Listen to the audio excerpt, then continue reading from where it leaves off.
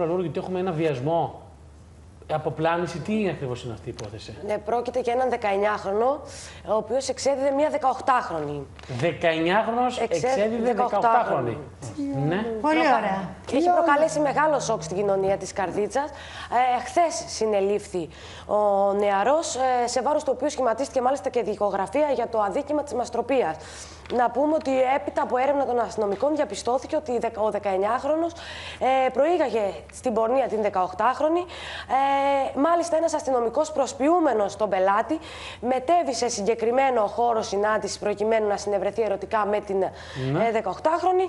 Και όπως συνήθως γίνεται, μετά την καταβολή του χρηματικού ποσού, το οποίο ήταν προσυπηωμένο, κινητοποιήθηκαν ο 19χρονο και η 18χρονη. Σύμφωνα και με τα στοιχεία που έχουμε, η 18χρονη έχει, έχει σχηματιστεί και βάρος στη δικογραφία, όμως είναι πτεσματικού χαρακτήρα ε, σε, για παράβαση του νόμου περί εκδιδόμενων προσώπων. Αυτή τη στιγμή ο συλληφτής οδηγείται στην εισαγγελία πλημελωδικών Καρδίτσας και, ε, και αναμένεται και η προανάκριση. Μάλιστα. Να μείνουμε εδώ πέρα και πάμε στα γεγονότα.